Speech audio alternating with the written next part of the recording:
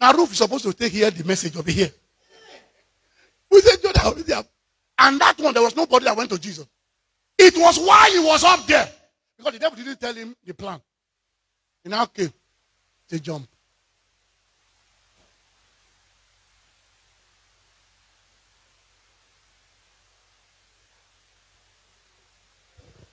Jesus jumped.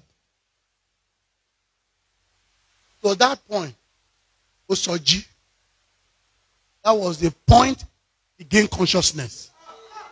I am to die, but not by suicide.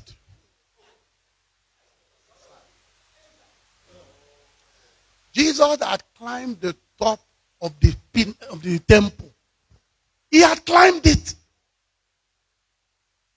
It was that time. Eh? What am I doing here? Satan said, wait. Relax, relax. You one jump? You know like long jump? You one go Olympic? Make your name enter book of record. He said, anyway, it's okay, it's okay. Don't worry, don't worry. Don't worry. You see, from this point where you are, don't jump. It's okay. He had discovered that Jesus had woken up. And I struck him again. Don't jump. Don't jump. Look at all the glory of this world. See, where you are, just bow.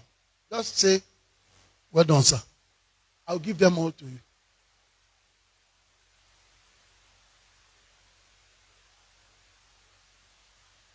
Look, if not that the Father had anointed him with the Holy Ghost and with power, that would be the end of our salvation.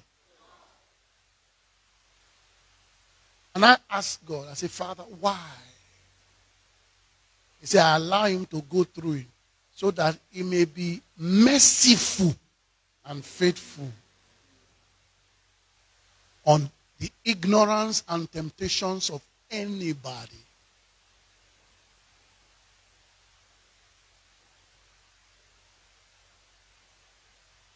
So that he can succor. The word succor means to give help.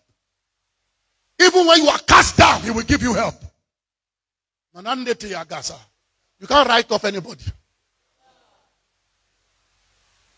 can't write off anybody.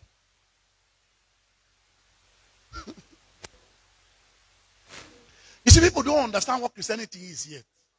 All they think Christianity is is David, Joshua, uh, Elijah. That's that's. Look, look, look. That one is not Christianity. Oh. Uh, the story of the Bible. Christianity is Jesus Christ. When you understand Jesus in totality, as in his person and what God used him to do for us, that's when you start Christianity.